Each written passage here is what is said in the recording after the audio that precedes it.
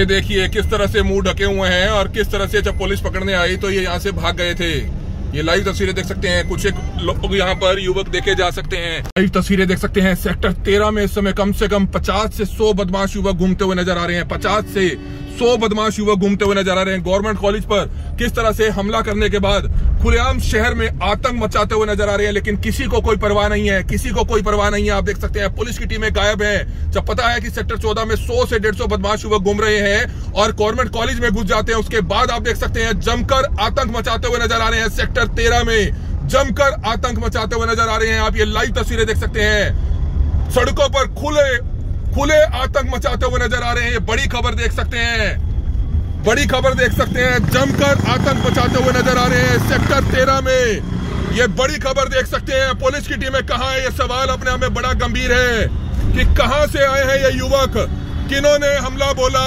क्यों बोला? और आप ये लाइव तस्वीरें देख सकते हैं। सेक्टर तेरह में समय से भागते हुए गवर्नमेंट कॉलेज से सेक्टर तेरह में भागते हुए नज़र आ रहे हैं। पुलिस की टीमें कहा है? कल ही नए एसपी का ट्रांसफ़र हुआ है। नए एसपी ने आज चार्ज संभाला है और आप देख सकते हैं करनाल शहर में, सीएम सिटी में जमकर आतंक मचाया हुआ है।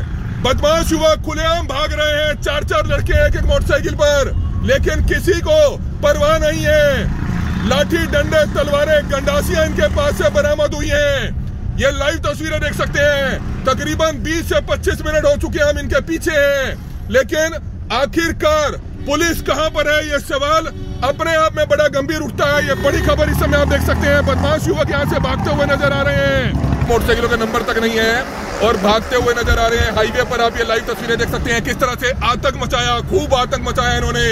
ये लाइव तस्वीरें देख सकते हैं। करनाल के गवर्नमेंट कॉलेज में किस तरह से सौ से डेढ़ सौ बदमाश युवक, सौ से डेढ़ सौ बदमाश युवक आ जाते हैं और किस तरह से आप देख सकते हैं, चार चार लोग हैं। चार चार लोग हैं मोटरसाइकिल पर और यहाँ से भागते हुए नज़र आ रहे हैं करनाल में दहशत का माहौल फैला दिया। करनाल के गवर्नमेंट कॉलेज में दहशत का माहौल फैला दिया।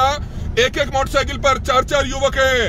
एक एक मोटरसाइकिल पर चार चार युवक देखे जा सकते हैं। ये बड़ी खबर इस समय आप देख सकते हैं। इस समय सेक्टर 12 एसपी ऑफ़िस के सामने बिल्कुल। आप ये लाइव तस्वीरें देख सकते हैं। ये रेड लाइट तोड़ दी, ये रेड लाइट तोड़ दी और भागते हुए नज़र आ रहे हैं। चलो अपने अपने चलो। कोई बाहर नहीं रहेगा। आउटर बच्चा कोई नहीं जाएगा अंदर। आउटर बच्चा बाहर हो जाओ। रखाना पड़ेगा चलो बच्चे आउटर बाहर चलो, बाकी अपनी क्लास में। तो तस्वीरें देख सकते हैं, करनाल के गवर्नमेंट कॉलेज में काफ़ी हथियारबंद युवक आ जाते हैं। लाठी, डंडे, गंडासिया, उनके पास से बरामद की जाती है। ये बड़ी खबर देख सकते हैं, पुलिस मौके पर पहुँच जाती है। स्टूडेंट्स को समझाती हुई नज़र आ रही है, ताकि कहीं ना कहीं बदमाशी कॉलेज में कम की जा सके, जिसकी लाइव तस्वीरें इस समय आप देख सकते हैं।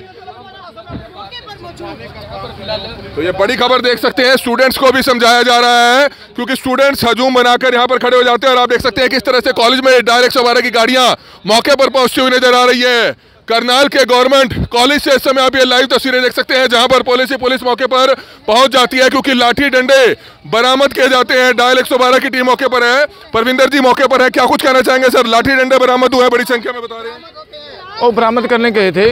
मौके पर वहाँ सर्च अभियान चलाया था हमारे मुलाजमों ने जो साथ लगता जंगल है उसमें कुछ हथियार कुछ आपत्तिजनक सामान ना हो या कुछ बच्चे ना छुपो या दोबारा झगड़ा कोशिश ना करें।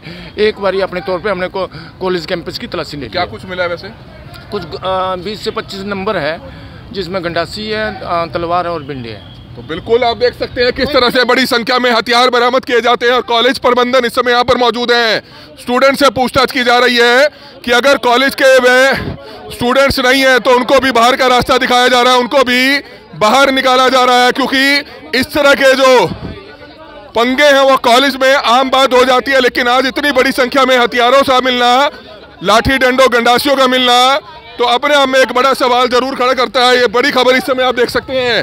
किस तरह से जो बाहर के स्टूडेंट्स हैं उनको आप तो बाहर के नहीं काट ले रहे जी मैं तो बाहर आप का तो जी अभी कुछ देर पहले बाहर के आ गए थे लाठी डंडों से यहाँ पर। तो गवर्नमेंट कॉलेज के हैं ये तो लेकिन आप देख सकते हैं किस तरह से समय पुलिस मौके पर है पुलिस मौके पर है। पूछताछ ज़रूर की जा रही है सख्ती ज़रूर है क्योंकि लाठी डंडे बड़ी संख्या में बरामद किए जाते हैं। ये बड़ी खबर देख सकते हैं। करनाल के पंडित चिरंजी लाल शर्मा महाविद्यालय से, हालाँकि कॉलेज बहुत अच्छा है रिज़ल्ट यहाँ के बहुत अच्छे हैं, लेकिन कई बार देखा जाता है बदमाश युवक जो बाहर के होते हैं, वो आ जाते हैं और जिसके चलते कॉलेज का जो माहौल है, वो खराब हो जाता है। आई कार्ड चेक करते हुए पुलिस की टीमें आई कार्ड चेक करते हुए ये बड़ी खबर इस समय आप देख सकते हैं, करनाल के सेक्टर 14 गवर्नमेंट कॉलेज से इस समय आप ये लाइव तस्वीरें देख सकते हैं, जहाँ पर जानकारी मिली थी कि बड़ी संख्या में कुछ बाहर के युवक, कुछ कॉलेज के युवक यहाँ पर लड़ाई झगड़ा कर सकते हैं और बड़ी संख्या में हथियार, लाठी, डंडे, गंडासी, तलवारें यहाँ से बरामद होती है। और इस समय आप ये लाइव तस्वीरें करनाल के सेक्टर चौदह से देख सकते हैं, जहाँ पर पुलिस की टीमें मौके पर मौजूद है। कॉलेज की जो टीम है कॉलेज के जो अधिकारी हैं, आप देख सकते हैं वो मौके पर मौजूद है। जो यहाँ के प्रोफेसर हैं लेक्चरर हैं, वो भी स्टूडेंट्स को समझाते हुए नज़र आ रहे हैं। सर स्टूडेंट्स को समझाया जा रहा है। अब ऐसे हम तो लगे रहते हैं और खासकर मैं अनुरोध करता हूँ मीडिया के माध्यम से डिसिप्लिन इंचार्ज के नाते हमारे को एक समस्या फेस आती है। बच्चे आजकल जो है ना, थोड़ा उतनी रिस्पेक्ट से नहीं बोलते। और हम अब हमारे को डांटने का भी अधिकार नहीं रहा, कोई ऐसे बच्चों को हम डांटें।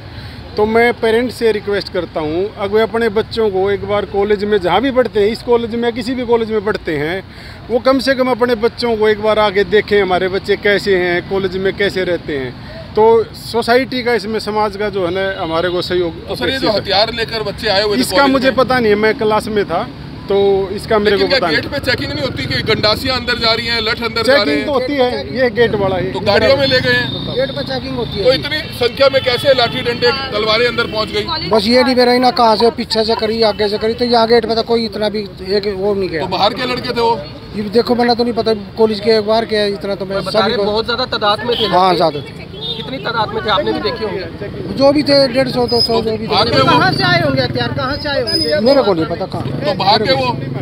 हाँ भाग्य कुछ बार पार्क में थे कुछ बार पुलिस ने बरामद किए हथियार? हाँ पुलिस ने। तो सिक्योरिटी गार्ड है आप देख सकते हैं ये सिक्योरिटी गार्ड है लेकिन कहीं ना कहीं ऐसे लोगों के खिलाफ सख्त से सख्त कार्रवाई ज़रूर की जानी चाहिए ऐसे बदमाश युवक जो कॉलेज जैसे संस्थान में, शिक्षण संस्थान में प्रवेश कर जाते हैं, लाठी डंडों से लैस होकर, तलवारों से लैस होकर कॉलेज के अंदर प्रवेश कर जाते हैं। ऐसे लोगों के खिलाफ, ऐसे स्टूडेंट्स के खिलाफ, ऐसे युवाओं के खिलाफ निश्चित तौर पर सख्त सख्त कार्रवाई ज़रूर की जानी चाहिए। हालाँकि आप देख सकते हैं स्टूडेंट्स की भी चेकिंग की जा रही है कि अगर कोई बाहर के बदमाश युवक यहाँ पर पकड़े जाते हैं तो उनके खिलाफ कार्रवाई की जाएगी। हालाँकि पुलिस की टीमें जो है, वो ऐसे युवकों को हिरासत में भी लेकर जा चुकी है। लेकिन किस तरह से आप देख सकते हैं, पुलिस की तमाम टीमें यहाँ पर मौजूद है।